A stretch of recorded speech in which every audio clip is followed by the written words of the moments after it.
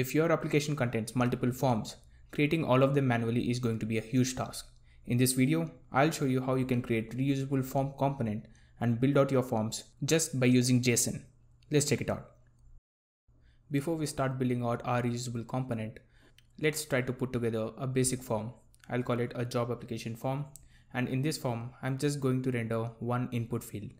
And that input field will be of type text and I'll give it a name of first name. I'll provide it a ID of first name and I'll add a label to render my input element.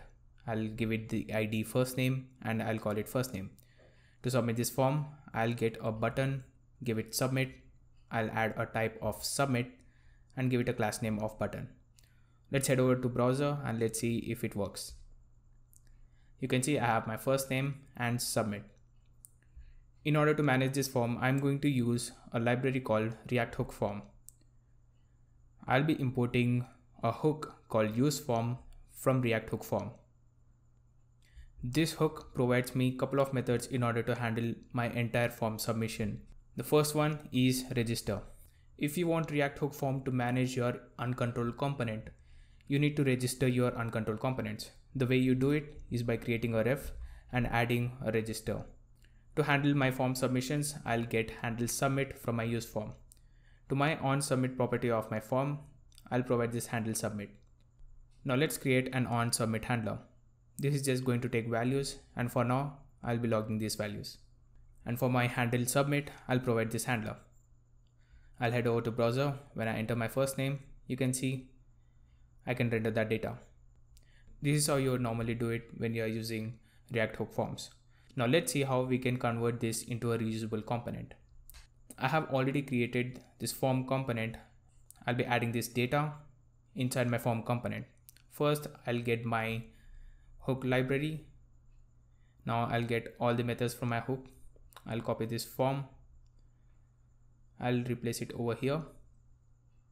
And for my on submit, for now, I'll copy this from my component and I'll add it in my reusable component. Now in my job form component, I'll be importing this reusable form component. Instead of div, I'll just render my reusable form component. When I head over, you can see my form still works. In my reusable form component, as of now, all the data is hard-coded. In order to make this a reusable component, I'll have to extract this data and I'll have to provide this in the form of props to my form component. To do this, I'll create a template object and to my template object, I'll provide a title and provide it job application form. Now apart from my header, in my form, I have multiple fields. Let's see how we can add these fields. Now to my field, I have my first name, my titles, I have the type of text and I'll have to bring in all these values using my template. To manage multiple fields, we can create an array. This array will consist an object which will take title, the title of your input, the type, the type of your input, and name. You can also add ID, but I can reduce the name for my ID. Now to my form component, I'll provide this template.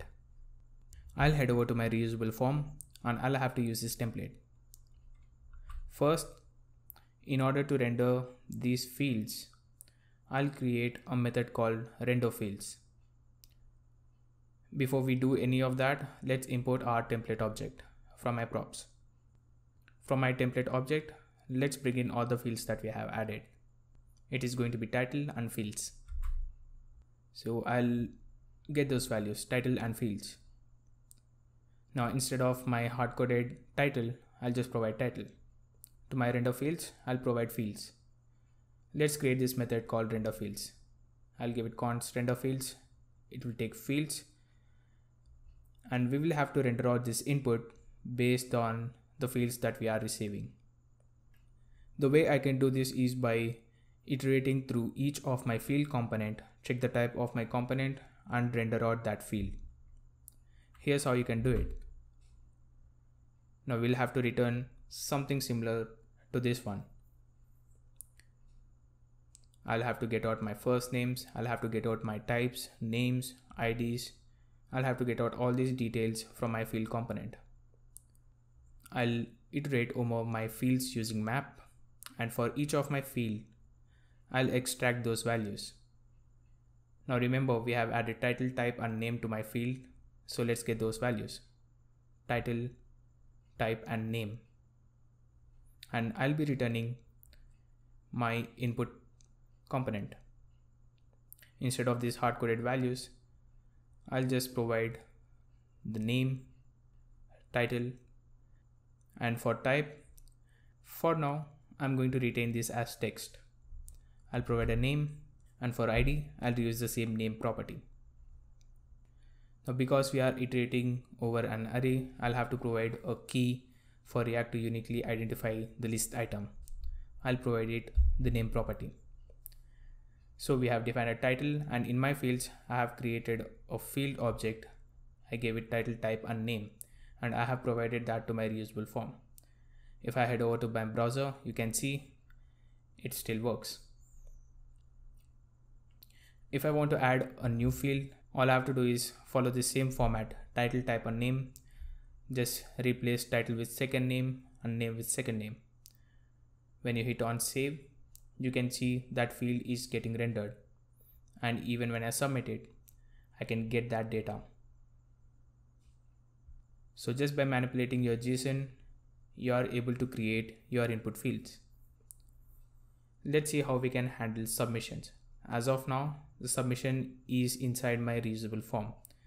We want it within our component, our job form component. So let's copy our on submit over here and provide a new property to my form, call it on submit. Inside my reusable form, I'll get this property on submit and to my handle submit, I'm already calling my on submit. So when I enter my test data, I can access that data within my job form component.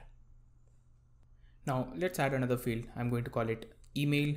I'll give it type of email and name email. When I enter my test data and submit, I can still submit that. I'm not doing any email validation. The reason is for every type, I'm returning type as text. So we'll have to change this. Your form contains multiple type of inputs, text fields, checkboxes, radio buttons. The best way to handle all these different inputs is by using a switch. I'll provide a switch statement, provide it type. Now inside my switch statement, I can render out these particular elements. For text, I'm going to return my input text element.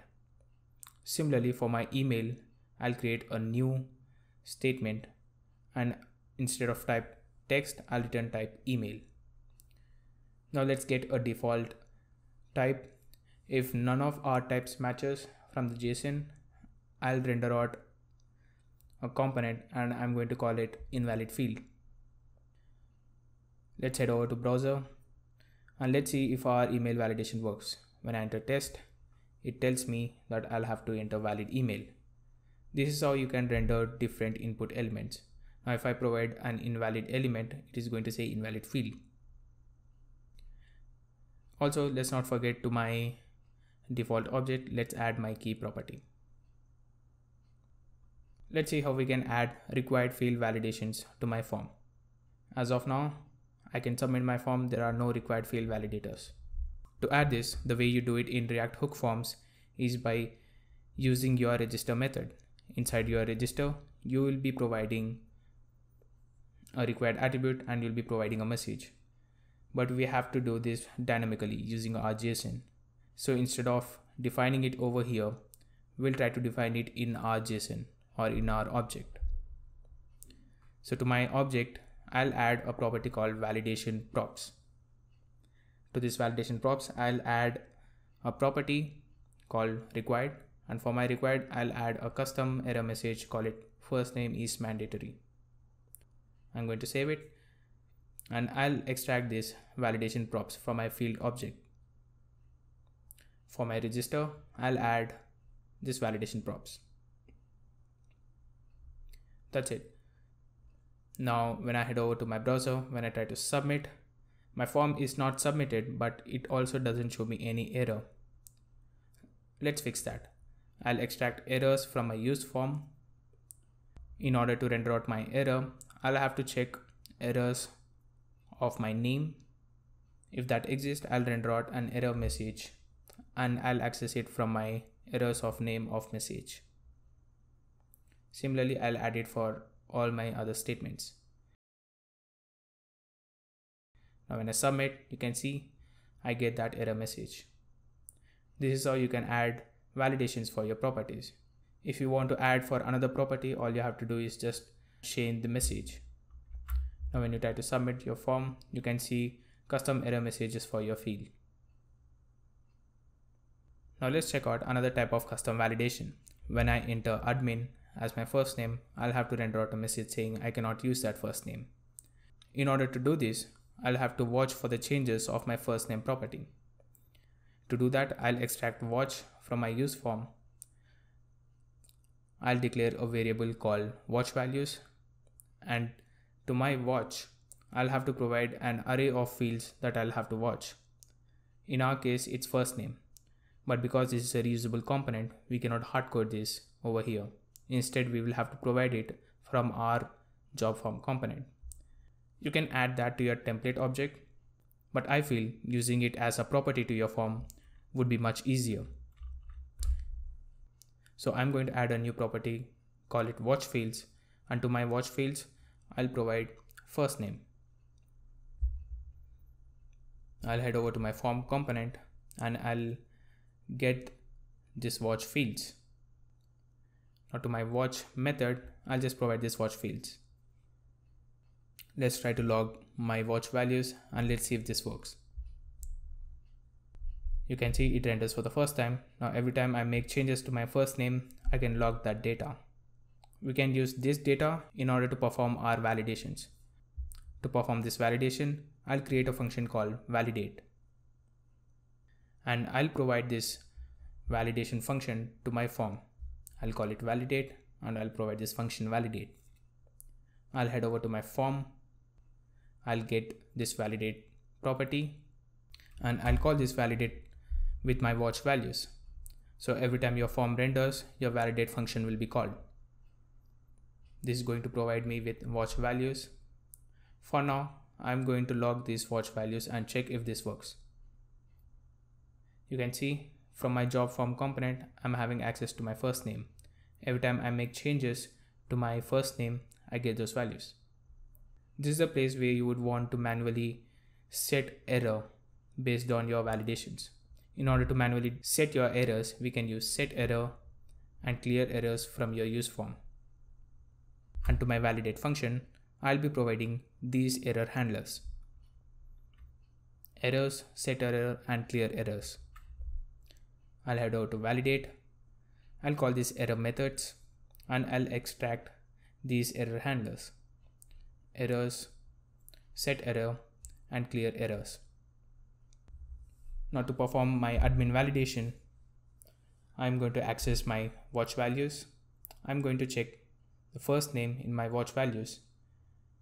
If that equals admin, I can set an error I'll call it first name. I'll have to give it a type of manual and provide it a custom error message. I'll call it message and I'll provide a message. You cannot use this. This is how you'll have to do if you are using React Hook forms. Whenever I enter test, nothing happens, but whenever I type in admin, you see I get this error called as infinite rendering. That's because every time you're trying to set an error, your component will be rendered and your watch values is going to be triggered again and this goes on in an infinite loop.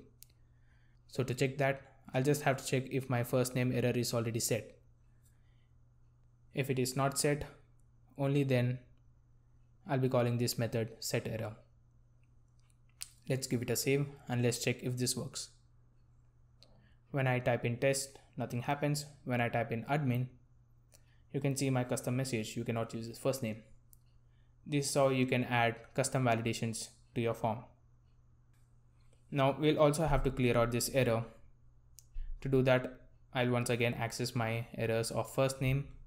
I'll check if this first name exists and I'll also have to check if this errors is of type manual because your browser has certain inbuilt validations.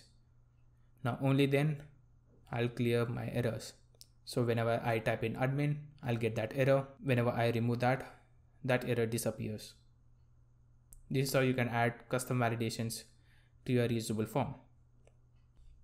Now let's see how we can dynamically render form fields. To do this, I'll create two input fields. First one, I'm going to call it include portfolio, give it a type of checkbox and give it a name include underscore portfolio. And the next one is going to be your URL. I'll call it portfolio link, give it a type of URL and for the name, I'll give portfolio underscore link. Now when I save this, I'll get invalid fields because I'll have to define these elements.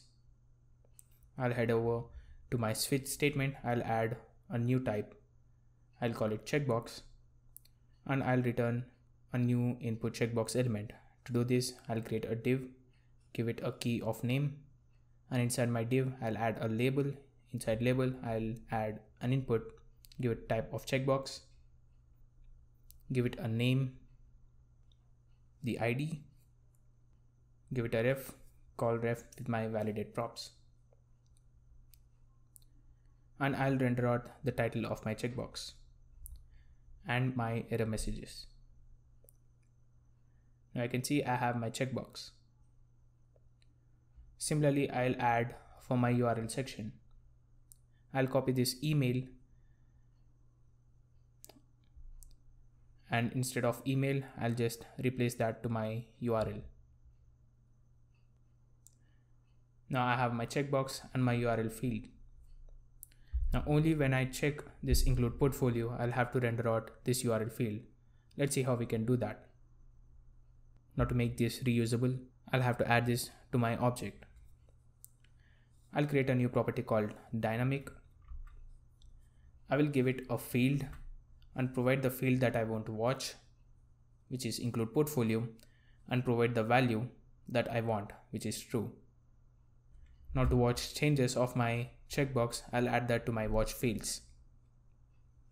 Now I should be having access to that property whenever its value changes. Now let's extract the dynamic property that we have declared. I'll create a new variable called it show field and I'll check if dynamic property is present on my field. If it is present, then I'll check for field and value.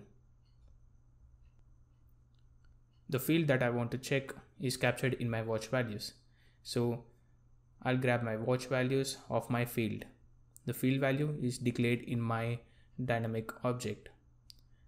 So I'll call dynamic of field. This is going to provide me the value of that checkbox and I'll compare that with the value that I have provided in my object. Now only when there is a match then I'll return a true. If dynamic property is not added to your object, I'll just return true. Now I'll check for the show field only if it is true. I'll render else I'll just return it.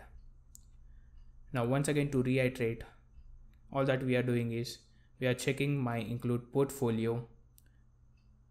Only if that value is true, I'm going to render out a true for my show field.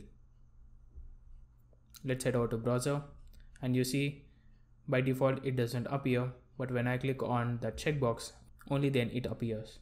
This is how I can dynamically render fields in my form. Now if you take a look at the code this whole thing is reusable. I can create a new form component, provide it a completely different template, and I'll be having a working form. So we were able to create a form with validations and dynamic field rendering just by using our JSON object. This is extremely powerful. I can just change my template object and I can render out a completely different form. This is one such way of creating reusable components you can use the same strategies in order to create a component that will fit your needs. This is the end of React Form series. I hope this was helpful for you. Let me know how you felt about this series. If you like this content and if you are looking for more, consider subscribing to this channel. And as always, thanks for watching.